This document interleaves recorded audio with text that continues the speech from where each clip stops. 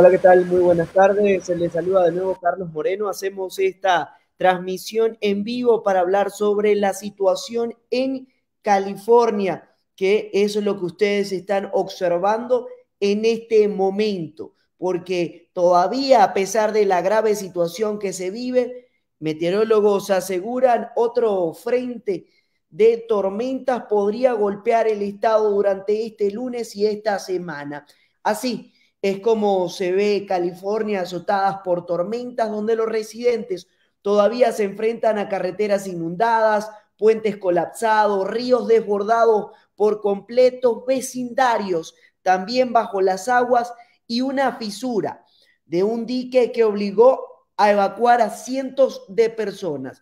Ahora bien, ¿qué se espera? Se espera que una nueva tormenta golpee el estado este lunes, como le decía, trayendo fuertes lluvias. También nieve en las montañas y amenazando con aún más inundaciones en el norte y centro de California, justo cuando el primer río atmosférico, la primera, eh, el primer golpe meteorológico se reduce, esto según el servicio meteorológico. Es importante también destacar que cuando se habla de ríos atmosféricos, ¿de qué se trata esto? Usted que está ahí en casa se debe preguntar. Bueno, les cuento, los ríos atmosféricos consisten en bandas largas y estrechas de humedad que transportan aire caliente y vapor de agua desde los trópicos. Alrededor de 15 millones de personas permanecen bajo alerta de inundaciones en California y Nevada cuando la tormenta se acercaba al domingo temprano. Eso es la última información que tenemos. Ahora, más inundaciones podrían generar una situación mucho más peligrosa y grave en algunos vecindarios donde las lluvias potentes, torrenciales, en los últimos días han convertido las calles en ríos, dañado la, la carretera y dejado a gente varada, provocando numerosos rescates, según han reportado las autoridades. Y usted, hablando de eso, allí ve las imágenes, parecen verdaderamente río eh, algunos vecindarios y zonas de California. Lamentablemente, al menos dos personas han muerto como resultado de estas poderosas tormentas meteorológicas, según indican las autoridades. Algunas eh, personas no pudieron incluso evacuar antes de que llegara el agua de la inundación y los equipos tenían que ejecutar los rescates en aguas altas el día sábado. Esto según reportó el sitio de noticias CNN en español, quien pudo conversar con el, con el capitán de Cal Fire, Curtis Rhodes. Es importante también destacar que entre las áreas más afectadas se encuentra el condado de Monterrey, donde la crecida del río Pájaro rompió un dique alrededor de la medianoche del viernes. Esto causó caos porque envió agua por cantidad y sin control a las comunidades cercanas de Pájaro, obligando a los residentes literalmente a tener que salir, dejar todo en sus casas, correr y huir. El peor escenario para la comunidad, dijo Luis Alejo, quien es presidente de la Junta de Supervisores del Condado Monterrey.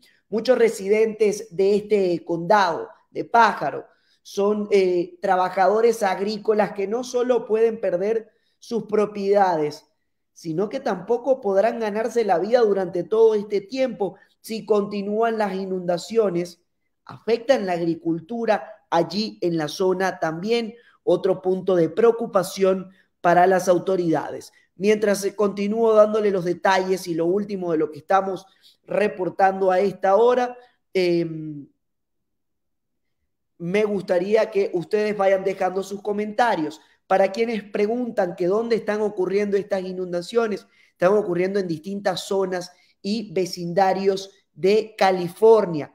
Eso es lo que les estamos comentando a esta hora. ¿Qué es lo que se espera? Bueno, que, más que pueda venir más lluvia es lo que pronostican los meteorólogos y esto eh, podría generar más inundaciones, haciendo una situación más grave en algunos vecindarios donde las lluvias torrenciales en los últimos días convirtieron las calles en ríos, dañaron carreteras y han dejado a gente varada Esto ha hecho que las autoridades trabajen a toda velocidad realizando numerosos rescates. Lo triste del caso es que ya dos personas han perdido la vida, han fallecido producto de estas inundaciones, según dicen las autoridades. Para quienes quieren preguntar cuáles son las zonas más afectadas, bueno, estamos hablando que entre las áreas más afectadas está exactamente el condado de Monterrey, donde la crecida, la crecida del río Pájaro rompió un dique alrededor de la medianoche del viernes, enviando pues cantidades de agua sin control a las comunidades cercanas de Pájaro y obligando a los residentes a tener que abandonar sus casas de inmediato, prácticamente salir huyendo, corriendo. El peor escenario de lo que pudieron vivir, según dicen las autoridades en la zona que han tenido que estar trabajando. Incluso ustedes van a ver allí también fotografías captadas en la zona y distintas imágenes de eh, lo ocurrido y la situación de cómo, pues, con la que han tenido que batallar residentes de California durante los últimos días. Eh, hoy estamos nosotros acá desde Mundo Now dando una actualización importante que comparta esta información si usted está en California o tiene familiares para que estén alerta y al tanto de lo que está ocurriendo y así poder también eh, ayudar a la comunidad a que sepa en qué situación está. Si nos están sintonizando de California, me gustaría que me escriban cómo está su área, cómo está su zona. Algunos de los comentarios aparecen ya acá en pantalla a esta hora, donde les agradecemos por continuar esta transmisión en vivo de Mundo Now. Como dice Marta García, pongamos en oración por todas las personas afectadas. Algunos de los comentarios que ustedes hacen. Cristina Aguilar dice, Dios los cuide y los bendigas. Otro de los comentarios que están apareciendo. Nos preguntan que dónde es.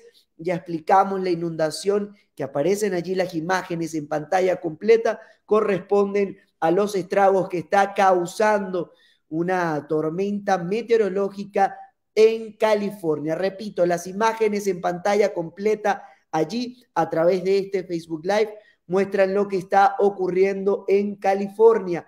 Específicamente una de las zonas más afectadas es el condado Monterrey, donde la crecida del río Pájaro salió de control, inundando comunidades aledañas y haciendo que miles de residentes tuvieran que huir. Continúo leyendo otros de sus mensajes, como el que pone en este momento Moni Díaz, dice Dios con ellos y los proteja.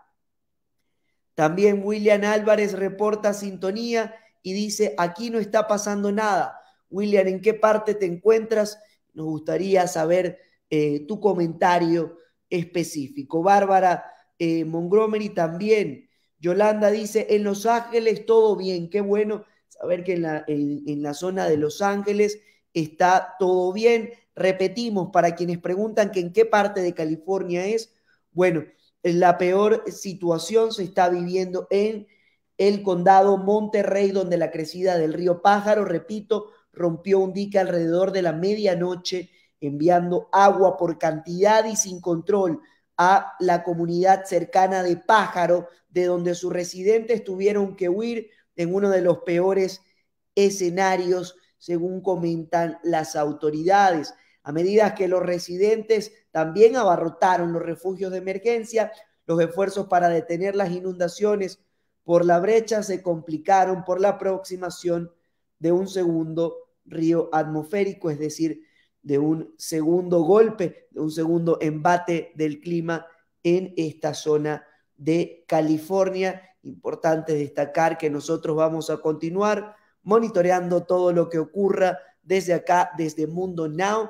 Yo soy Carlos Moreno, gracias por siempre estar en nuestra sintonía. Si usted tiene alguna información que quiera compartir con nosotros, se puede comunicar a través de nuestras redes sociales o me puede contactar también a mí, Carlos Moreno Reporta. Muchísimas gracias, feliz lunes, seguimos en contacto con las últimas informaciones, aquellas que le importan a usted, la de la comunidad hispana.